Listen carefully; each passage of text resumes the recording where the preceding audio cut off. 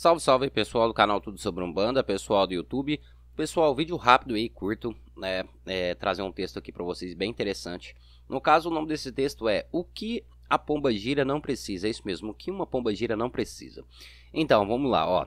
Pomba gira não precisa de fogo sobre as mãos para mostrar a realidade. É isso mesmo, pomba gira não precisa subir em cacos de vidros para mostrar presença.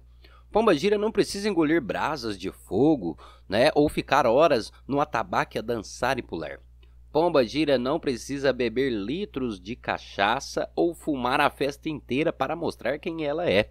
É, pomba gira de verdade é aquela que aparece na sua intuição, que chega em uma energia esplêndida que seu corpo não aguenta.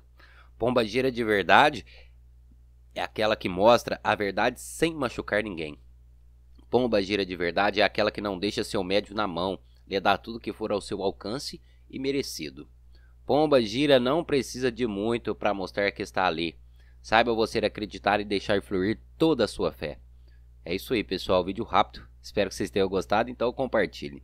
Muito obrigado a todos e até o nosso próximo vídeo.